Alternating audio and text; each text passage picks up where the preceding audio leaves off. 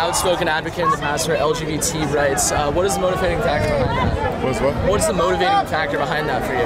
Oh, it, I wanted to do it, you know. It's my mom. My mom, she's, my mom's, I guess, they're, they're the motivation that drove me to do it. They didn't tell me to do it, they didn't, actually, they didn't even want me to come out, but I felt as though I was comfortable in my own skin enough to come out and just help my mom.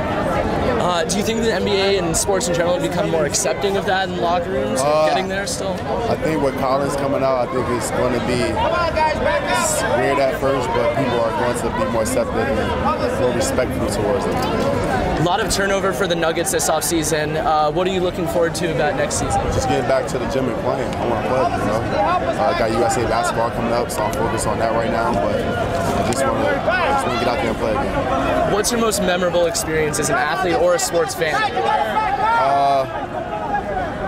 Smith, my first NBA point. First NBA point? Who was that against? Uh, it was against the Sacramento Kings. Do you remember who you scored on? Yeah, it was it was actually a pass from from, uh, from Rudy. He threw it behind his back. One of my teammates, Rudy, he threw it behind his back.